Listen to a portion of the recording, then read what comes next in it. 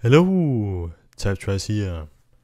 In today's video, I'll be showing you how to insert a trademark symbol in Adobe InDesign.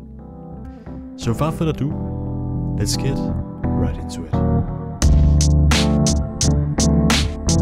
So let's say you want to insert a trademark symbol.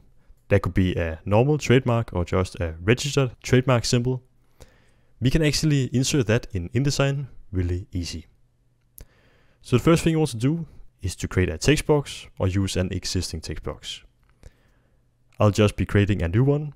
So you can do that by just going over in the left side of the screen, choose the type tool, or use the keyboard shortcut T to select it.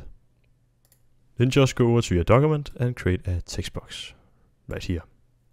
From here, we want to right click on the text box and we can see all of these different options we want to find this insert special character, choose symbols.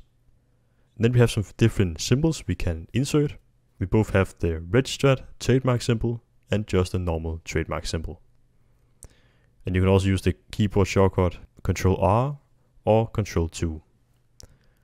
So let's just go with the first one, registered trademark symbol right here. And we can see that we have now inserted it we can also try to insert the other one. Just like this. And you can see that we now have our two trademarks. And we can just style them however we would like. So we can just choose a font for them. We can also choose another font style. Let's say uh, another color. Just like this. So yeah, that is actually how to insert a trademark in Adobe InDesign. Thanks so much for watching. I hope you found this video helpful. Don't forget to subscribe and like the video. That was all for now. See you in the next one.